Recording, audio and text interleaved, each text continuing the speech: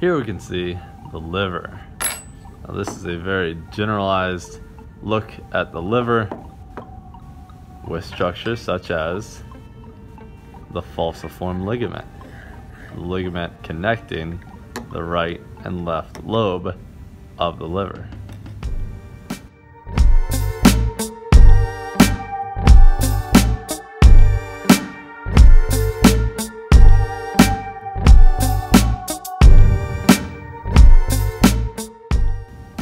We can see the inferior vena cava. Inferior vena cava. Down below, tucked underneath this green structure here is referred to as the gallbladder. Gallbladder. From an inferior view, we can still see the inferior vena cava running next to the liver. But this purple structure is the hepatic portal vein traveling into the liver. Check out the liver lobule model for more information on where this goes.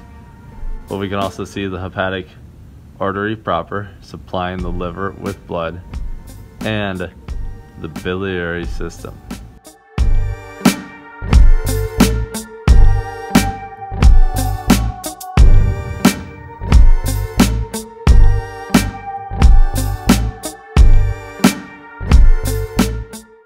Biliary system. So if we zoom on in, a couple things you can see are the two hepatic ducts, right and left, branching off the liver itself. And they very briefly form into the common hepatic duct, which is where the probe is pointing to right now. Now coming off the gallbladder, which the gallbladder stores and concentrates bile, we have the cystic duct. Cystic duct right here. Now the cystic duct plus the common bi- or common hepatic duct equals the common bile duct, which is this structure here. It's been cut off, but it would be leading down to the small intestine. Common bile duct.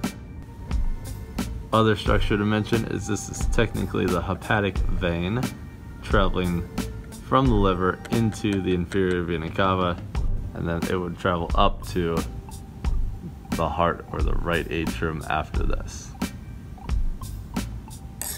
And that has been your liver model video. Thanks for watching.